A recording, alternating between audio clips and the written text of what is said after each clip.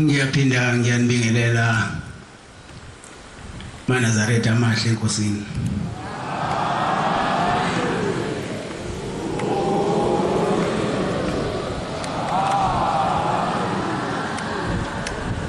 Ngoba seluze lwafika lolu suku abalele lapha akade balindela. Isukuma nokubabongela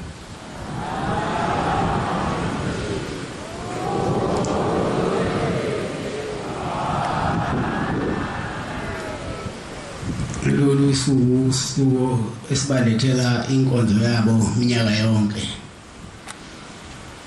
yokubakhumbula. Inkonzo esiyibamba nabo.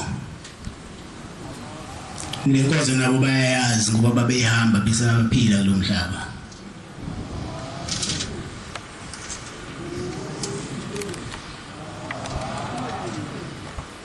Kule nkonzo suke sibacelela kubombela ukuthi azabakhumbule. Abangezanga kahle besehamba la emhlabeni.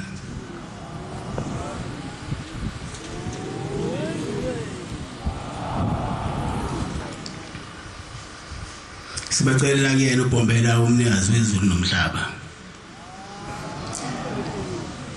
Ukuba bathethelele wonke amacala babenawo bagcine bewuzuzile umbuso wezulu.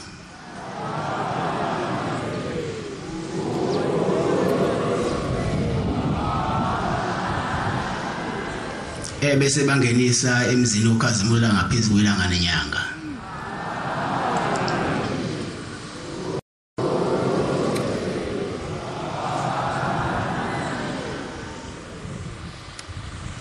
Bamenyeziwe emathuneni. Ya usebephumile